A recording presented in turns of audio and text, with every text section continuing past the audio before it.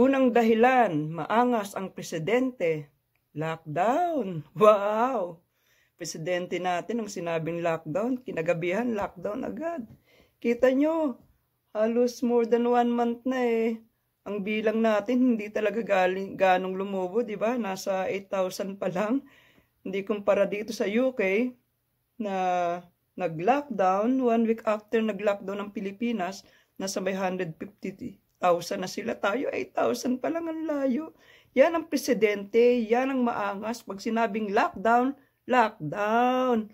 Matitigas nga lang talaga ang ulo ng mga Pilipino na kababayan natin, lalo na sa Manila, na pakalat-kalat, walang social distancing, ayan. Ngayon, hanggang ngayon, lockdown pa rin ang Metro Manila. Kaya yan ang ating presidente, maangas unang-una sa pagpatupad ng lockdown. Pangalawang angas ng ating Pangulo, decisive, di ba? Saan ka makakita ng Pangulo na kaya niyang murahin yung mga superpower na bansa?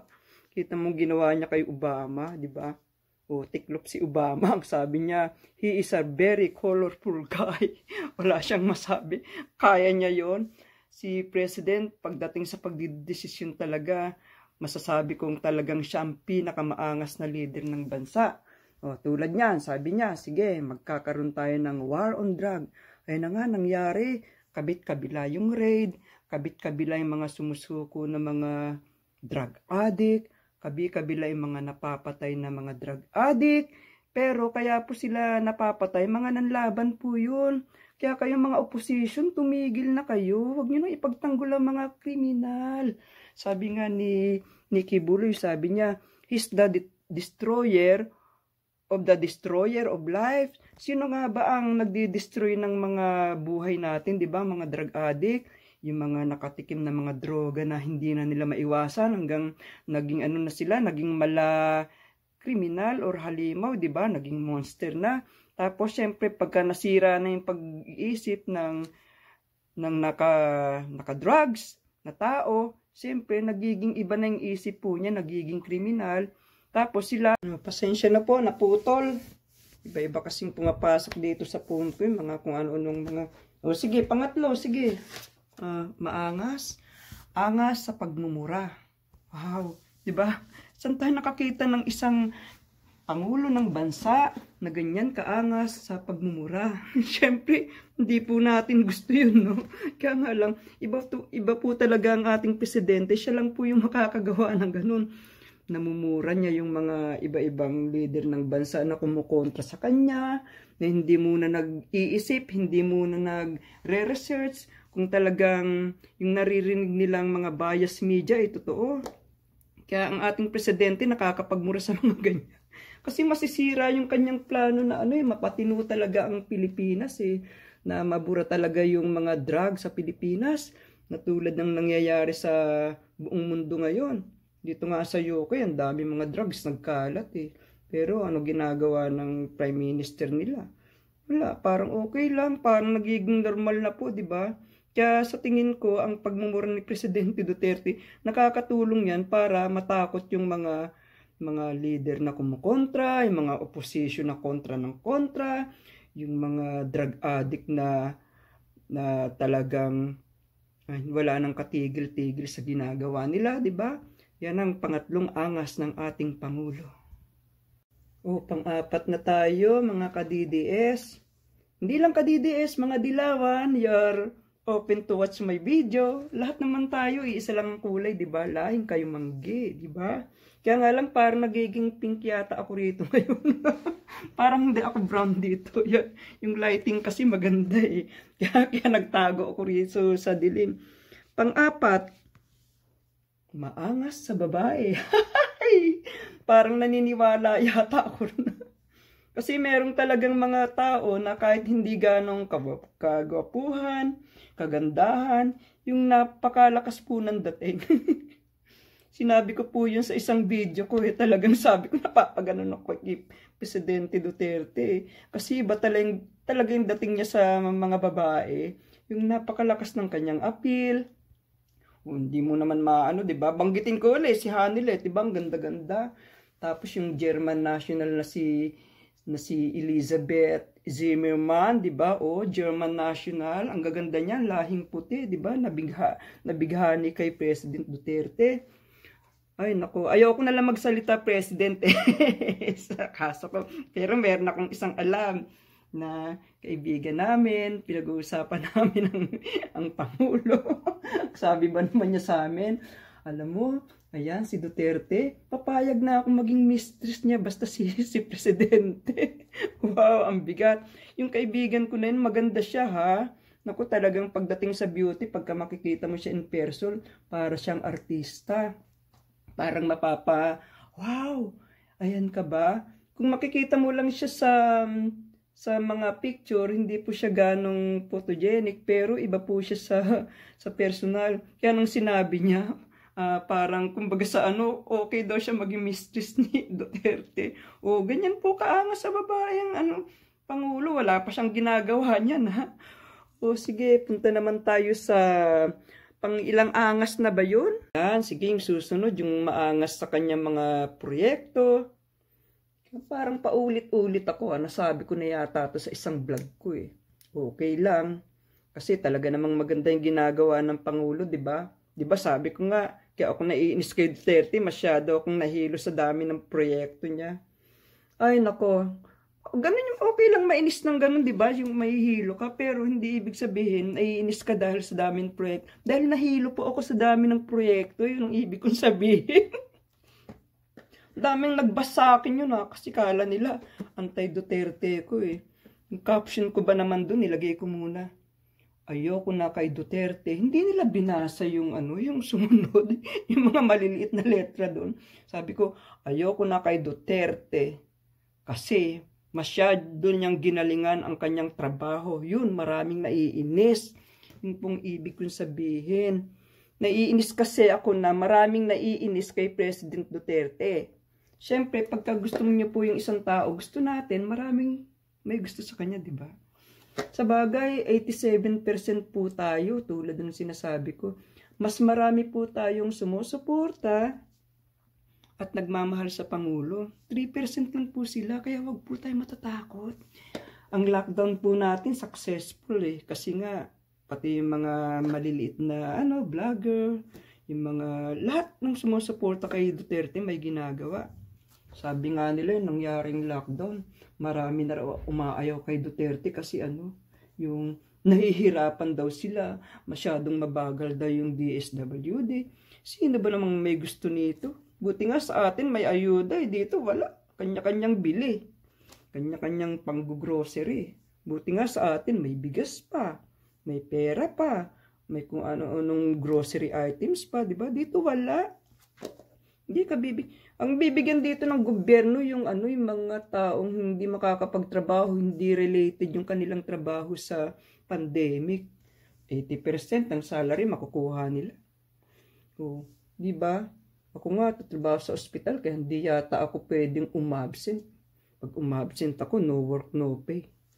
O, di ba? Maangas ang ating pangulo, biro mo, pandemic Handa siyang maubos yung kaba ng bayan basta mabuhay lang tayo. Yan ang maangas. Sige, na, pang ilan na ba tayo? Pang-anim ba? 1, 2, 3, 4. Hindi ko na mabilang, pang-anim yata. Pang-anim, anong gusto nyong angas ng ating presidente? Parang sa tingin ko yung kanyang pananamit. O, oh, di ba? Nako, siguro tataas yung kilay nyo. Saan ka nakakita ng presidente na naka, ano siya, ano ba tawag doon, naka Amerikana. Dapat yung panloob niya, di ba, nakabutonis hanggang dito sa may collar. Tapos naka-necktie. Saan ka makakakita ng presidente na nakabukas yung butones, nakalus yung kanyang necktie? Di ba siya lang? Oo.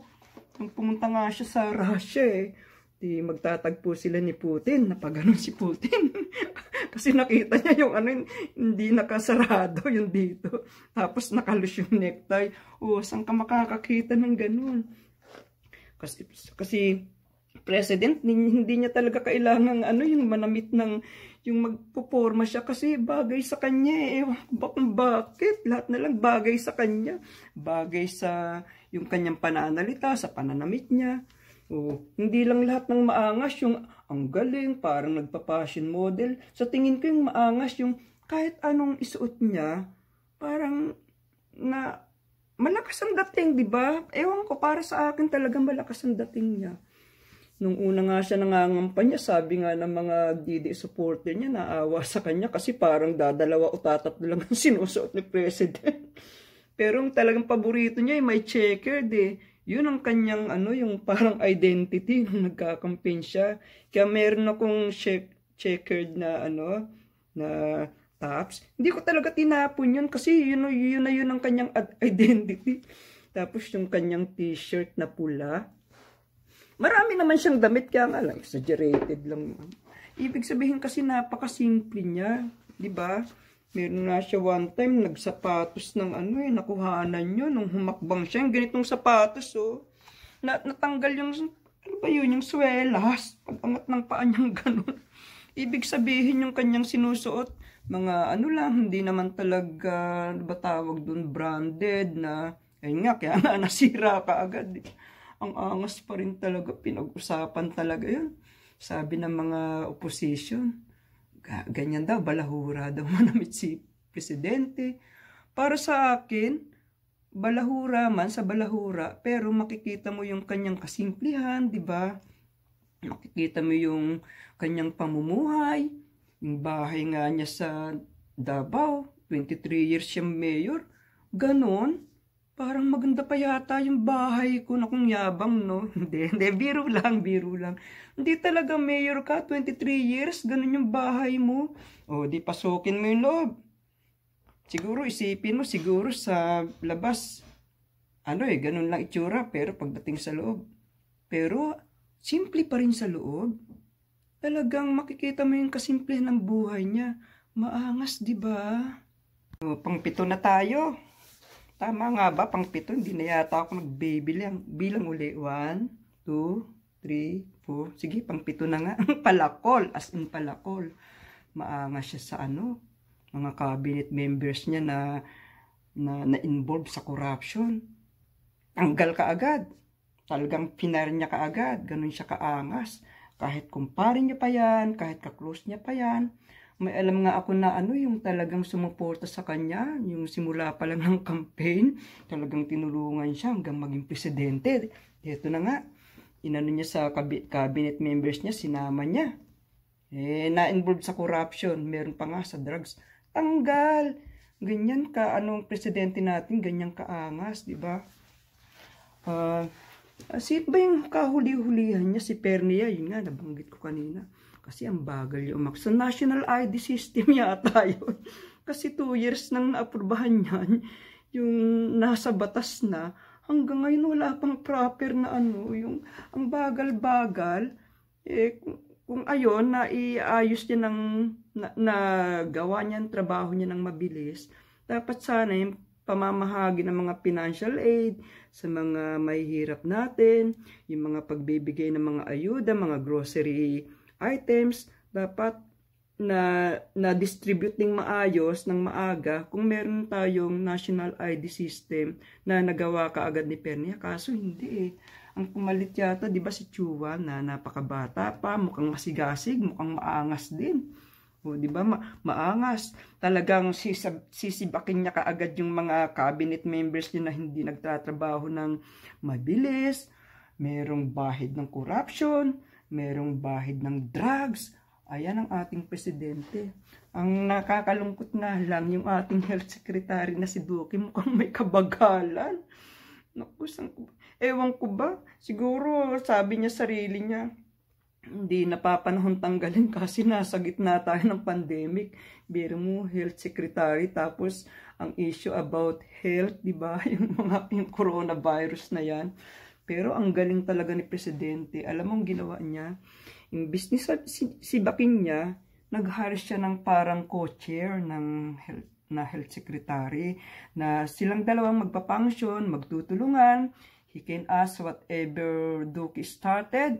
Kasi mahirap kasi yun, pag tinanggal niya si Duque, yung mga trabahong nasimulan, yung mga policy, lahat, uh, magsisimula uli siya.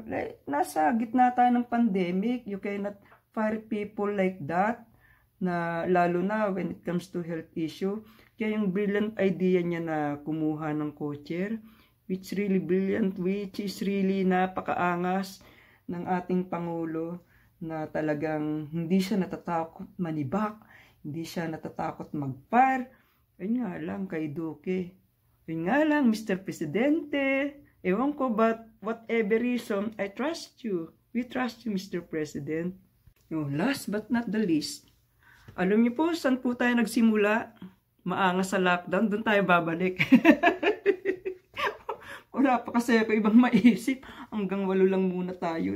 Balik tayong lockdown. Total naman, ang lockdown, um, uh, mag stay sa Manila. Yan, titigas kasi ng ulo ng mga Manileñan eh kasama na po ako ron. Eh, lumaki po akong Pasay, pinanganak ako ng Pasay. Nakikita ko po kung gaano kasi talaga katigas yung mga ulo ng mga taga Maynila. Siksikan dito, siksikan doon. Tapos ano pa ba yung napanood natin na yung binigay daw na financial support sa mga mahihirap? Ayun, nahuli, nagsasabong. Uh, ano ba yung ginagawa nila? Nagsusugal ng kung ano-ano nag baka may nagmamadyong pa. Wala na nga social distancing. Gastusin pa ng ano. Meron nga akong narinig eh nahuli. Kasi merong curfew. Umuwi ng bahay gabi da di nahuli si ating ganda ng buhok. Bagong riband. Tapos yun nga ginastos lang sa pagre-riband yung kanyang ano na, na natanggap na 5,000 or 8k ba yun ay, nako, ating, nako, dapat pinambili ng pagkain yan. Kawawa naman. Kawawa naman yung mga hindi nakakatanggap. Eh, kasalanan ng mga ano yan. Uh, eh, kas ewan ko kung may kasalanan tayo. Basta ako, lagi ko sinasabi, tumulong tayo kasi uh, kilala natin yung mga taong dapat bigyan ito nga, fundraising dito, fundraising doon. Nauubos na yung aking budget yata. No? Yung aking bulsa, ang sakit na. Lalo na hindi naman ako ganong pumapasok na sa trabaho. Part-time na lang ako. Pero I have to. Yan ang mga angas ni Presidente. Naunang angas niya, number one ko, angas sa pagla-lockdown, ha? Tapos pinakahuli ko pang walong. Hilig ko talaga hanggang number 8. Number 8 nga ako dati uh, number 8 yung hanggang ginawa kong ano, sabi ko, ayoko na kay Duterte for so many reasons. Yung pala yung sinasabi ko, ayoko kay Duterte, pabor pala sa kanya. Yung pinakahuli ko yung build, build, build eh. Ayun dapat yung ano ko eh, pinakahuling angas niya sa pagpapatupad ng mga build, build, build project. 'di ba maangas pero lockdown muna kasi nasa pandemic tayo eh. pinakahuli pandemic kanyang kaangasan sa pag-lockdown. Sa pong magandang araw sa inyong lahat, mga ka-DDS, o kaya mga dilawan, o kaya, pwede rin asul. Basta iisa lang naman ang kulay natin, o ang ganda, di ba? Sa pong magandang araw sa inyong mga pinakamamahal kong mga kababayan.